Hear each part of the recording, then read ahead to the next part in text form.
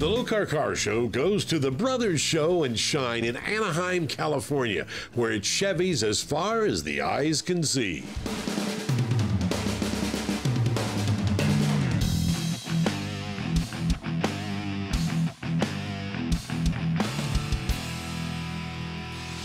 We start with a Chevy Carryall, loved by its owner for its rare body style. I like the body style because it's a very unique body style. You use, I go to a lot of car shows, and when I go to the car shows, you very rarely see these body styles. And so every time I go to car shows, I see different body styles, and it pretty much always seems kind of like the same, just painted differently. But this one I hardly see, and so that's why I chose this one because it was a unique body style. I wanted to be a little different, and that's why I went ahead and, and, chose this vehicle to do a complete restoration on it, and this is the outcome of that restoration. I actually didn't do the work myself. It was a gentleman by the name of Armando Vega that did all the work. He lives up in Oxnard.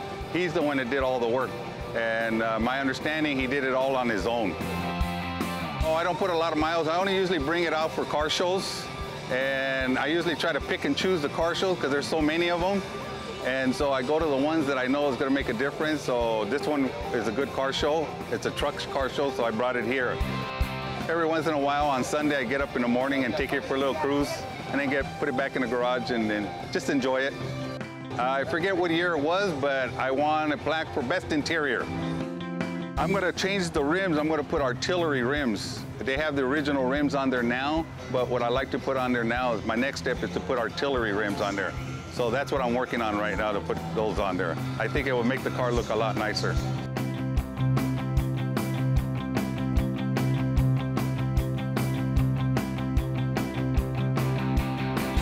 Next, a hunk of junk becomes a treasure.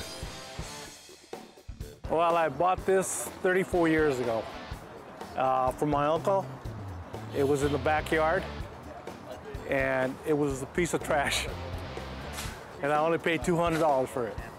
Redone the frame, uh, the wire suspension in the front, uh, had it sandblasted, powder coated, put a new engine in it. Well, rebuilt the engine, transmission. It's a 12 volt system. It's uh, power steering, power disc brakes, tilt steering wheel, power windows, a lot of stuff, a lot of time into it. Uh, about 10 years of the time and a lot of money. I, it's a truck, it should be a four-speed transmission. I can't see automatics in the truck. It's on the floor. It was a three-speed on the column. I changed it when I put the tilt in it, so I had put a four-speed in it. But it runs great. Approximately 745 miles on it. I drive it to the shows and that's it. And that's within the last five years. It's a 235. It's, I had it rebuilt. It's all stock, although it does have a Wayne, a Clifford intake with a Wayne valve cover. It's got a four barrel on it, 390 CFM. And the transmission's off uh, 82 Camaro. It's Saginaw four speed. The drivetrain is open drive. It's got the 58 Chevy rear end on it with 355 gearing. It runs great. I'd gone car shows, I'd seen other trucks and cars, and I ran into a guy, I asked him about his pinstriping, and he gave me a, guy's phone number. I called him over, we talked, and I, I told him I just want something subtle. I don't want to get over extravagant. I want two, three different colors. I just want one color. So he said he can do it. I left him alone. Two hours later, it was done. Our next Chevy continues a family tradition. I grew up, my grandfather had it, my dad had one, 63 to 66. I, I just grew up with them, always wanted one. Found one, started working on it. The engine, front disc brakes, has a 350, lowered uh, spindle coil, uh, spindle block in the back. Did the oak, put the oak wood in the bed, stainless steel strips.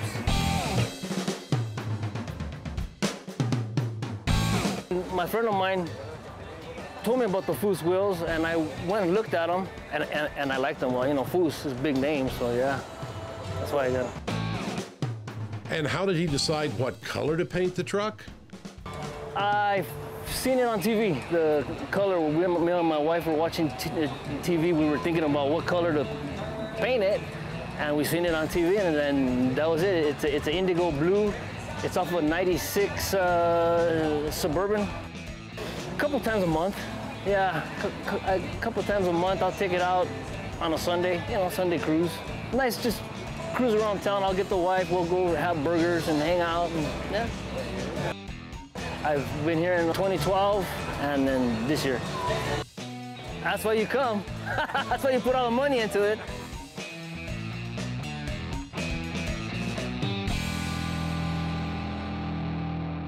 Coming up, a C10 Brotherhood dominates the event. This Lokar Car Show is being brought to you by Lokar Performance Products, quality plain and simple. And by ARP, the world leader in fastener technology. And by Steele Rubber Products, quality crafted rubber parts and weather stripping.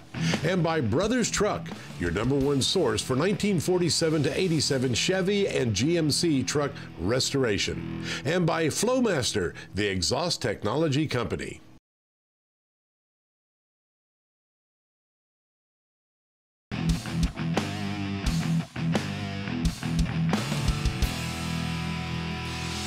Common sight was the C10 Club, whose members all look out for each other. It's a 72 Chevy short fleet. It's got a uh, pumped up 350 small block in it with a 700R four-speed automatic transmission, 373 gears, and uh, it's got air, uh, a stereo system. The color is what they call sunfire yellow. It's an old Corvette color. I had a 56 Chevy in high school and I had it painted that sunfire yellow and I always loved it. Actually, I was looking for a pickup truck all over the state, uh, on Craigslist, you name it, and I couldn't find what I was really wanting for the price or whatever. And Renee uh, called me up and said, hey, I know where there's a pickup. And I said, really, where is it this time, you know, because I was going to the Bay Area and Sacramento and all over. And he says, right here in Atwater. I said, you're kidding me. He said, no. So we went over and looked at this, and I bought it. I just paid him full cash for it. He said it was yellow, but usually yellow is kind of a faded yellow. But uh, this one was the color. There were about eight of us that, that came in, and then there was others joined, joined up with us. We all know a little bit about each part of the truck. Uh, we've got a guy that paints, we've got a guy that's a body man. Uh, I do engines and a guy that does transmissions and uh, rear ends. And so when something goes wrong, we, they're looking at one of us for, for help and, and we, we provide that. Here we find a son's tribute to his passed on mother. I built three or four of these trucks over the last four years, and I thought I was done building. And um, I'm almost diagnosed with uh, colorectal cancer three years ago, so we started to build the truck in honor of her. Her nickname is Tootsie, so I decided to name it Tootsie Speed Shop, um, home of the fastest redhead because she has red hair. And um, thought she was going to pull through, but uh, we lost her about a week ago um, at our house, and my dad and I were around her when she passed away. We had uh, Nathan Porter from Porterbuilt uh, build a full uh, one-off chassis for it. It's tube chassis and it's all gusseted. We have AccuAir air ride on it, the um, E-level system on all four corners. We left the body pretty much bone stock other than the door logo, which was done by Klein's Lines. All of the motor is a Texas Speed engine. The motor makes about 1,000 horsepower at the crank. My partner Jimmy Miller and I pretty much built the whole truck in our garage. All one-off hardline stainless steel.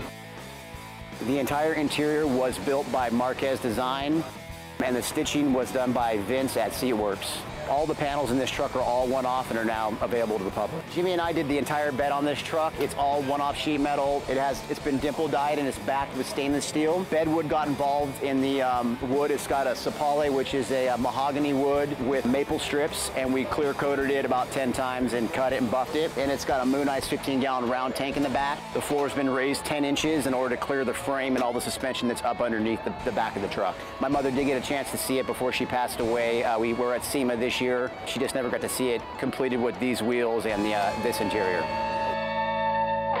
The C10 Club gave their oldest member a big hand with this truck. It's a first series 1955.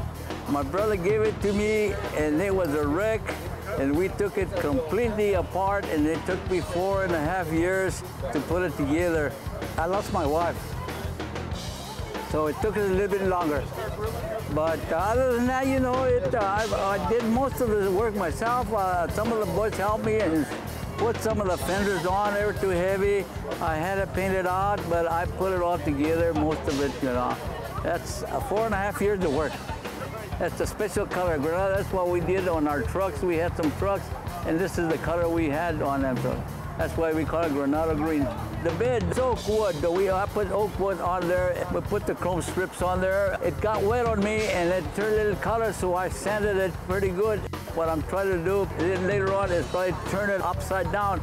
It's a better color on the bottom right now, you know, right clear.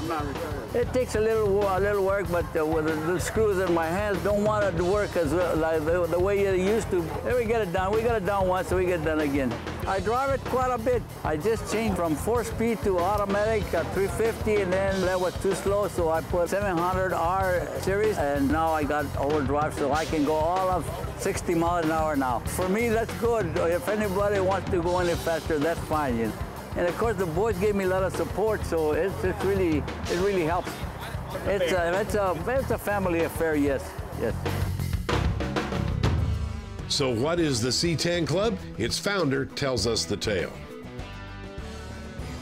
About the year 2000, Christmas time, me and my, all my family members were getting into pickups really big and heavy. My kids, my cousins, my brother, we all had trucks and we are putting them together. So my sister, my older sister, his twin, for the year 2000 Christmas time, bought me a hat and it said C10 Club. And I looked at the hat, I go, this is cool. Well, she brought my brother a hat, and his was a little bit more of a project. It said C10 Wannabe. And I looked at the hat, and I go, you know what, this is pretty cool. I can do something with this hat. So I went out and bought a dozen hats that C10 Club, not wannabes, and I gave them to my sons, my cousins, everybody that lived in the area. A couple of months later, my son put together a collage, and we live in Northern California. He went to one of the pickup places in Fresno and made a collage and put it up there, said C10 Club. Well, the next thing you know, the owner of the place is calling me and saying, I got all these guys here that want to join your club. Next thing you know, all these people want to join us. Whenever we go places, we barbecue, we have a family atmosphere.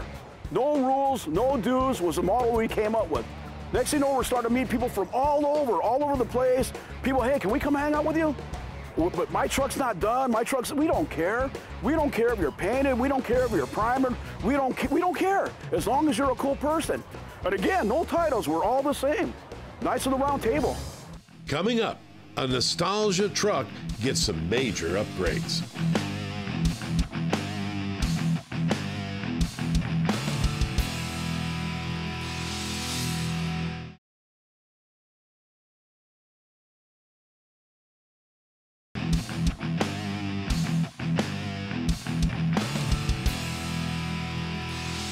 Welcome back to Anaheim, where the kids had as much fun as the gearheads. Now we see why this truck's owner calls it a Camaro. I always like the body style. It, it's specific for 58, 59 to have the dual headlights, and I kind of like that. Uh, the, the chrome treatments around, and you know, when it's fixed up nice, it shines. A fellow, that my, my neighbor helped me with the body and the paint, and then I had a fellow farmed out the upholstery to another fellow. The chassis is done by me and the motor arrangements, things like that. I have a Chevrolet 350 with a 400 trans and it has a Chevrolet rear end in it. Basically, it's a Camaro with a uh, Chevrolet truck body, body sitting on it. Well, I looked at many color books and finally decided on this color. It, uh, it kind of popped. Uh, there's many different variations and shades of red that it's, it's really hard to choose. This, this is a PPG single stage uh, red, and it's called Toner Red. It's just like it comes out of the uh, squirter. There's no additional blues or, or, grays or anything like that added to it. This is number four. Number four. Had a 60, and then I had a Dodge, and then I, I've got a, an old, uh, a newer Dodge now that's mine, and then I got this one for my my truck. We went to Hemet from Norco. We've, uh, we go into LA quite a bit to different uh, functions. Uh, never have taken it out of the state yet, but uh, this local driving. I've only had it on the road since January. We drive it to shows around. we don't, it's, uh, we were trying to build a daily driver, but it works out that it's better just to take it to shows. I never trailer it though.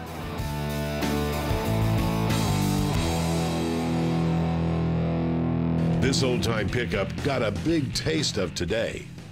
I had uh, purchased the truck from the guy who originally painted it from uh, Phoenix. And when I was looking for uh, something to work on, then I saw it and I just fell in love with it and it was different. That's why I chose it. It's a copper colored paint and at the time you didn't see anything that was copper, so it was just perfect for me. I've repainted a lot of the parts of the vehicle that needed some touch up. I've completely redone the truck. The whole interior's been completely redone. We've wrapped the dash in leather and uh, everything else, the back windows.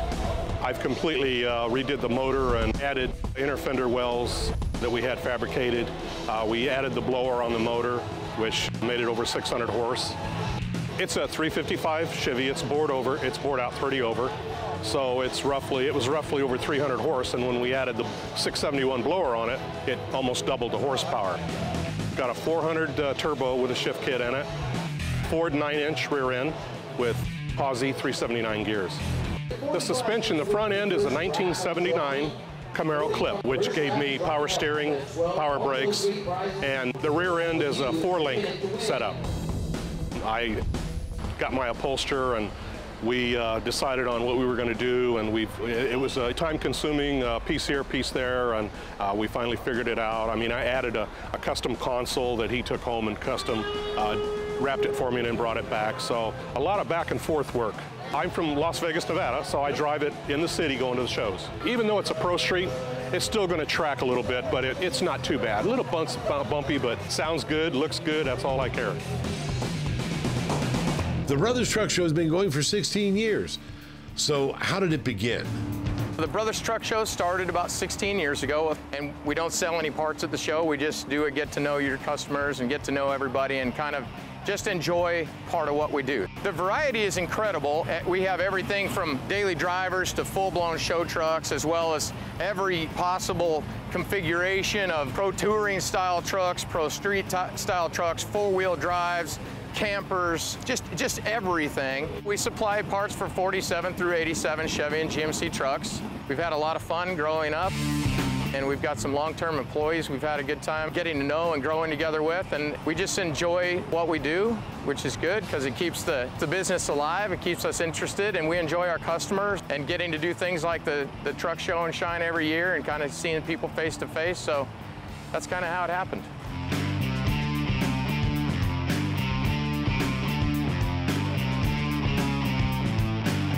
Coming up, the perfect story of Lost and Found.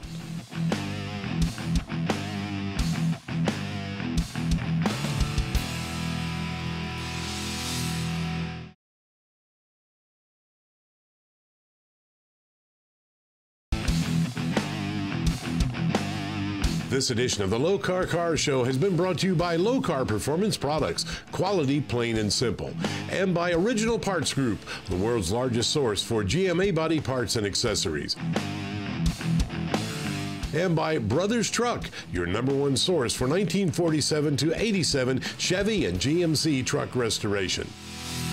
And by ARP, the world leader in fastener technology. With this truck, the owner found what once was lost. Out of high school, I had me a 57 Chevy, and I restored it. Not as nice as this, but I restored it. I ended up selling it, let it go too cheap, and after I sold it, I could kick myself. Why did I get rid of that truck? For years, I wanted another one, and I had the idea I'm going to buy an old one and restore it, upholster it, paint it, do the whole nine yards.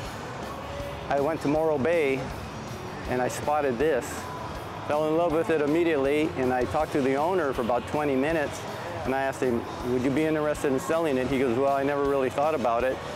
And then I said, well, if you sold it, what would you let it go for? So he gave me his price, and I said, well, if you're willing to let it go, I'm willing to buy it. And he said, really? He goes, well, okay. So I jumped on it, I bought it, I had to have it. I asked my wife, you think I ought to buy it? She says, you love the truck? I go, yeah. She says, buy it, buy it. So I did. And uh, I've been happy ever since for a whole month. We were in his home, a very nice gentleman and his wife.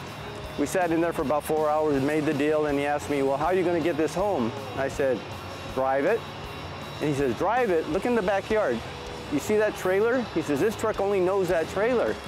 I never drive it anywhere, and you're going to drive it all the way to Laguna Niguel? He says, oh, the car's gonna, that's gonna be strange for that truck. So he calls me two days later, he goes, Jim, how'd the truck make it? I said, it's beautiful, it ran great.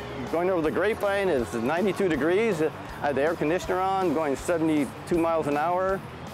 Never got hot, it ran great. He goes, oh, thank you. I never thought I'd make it that far.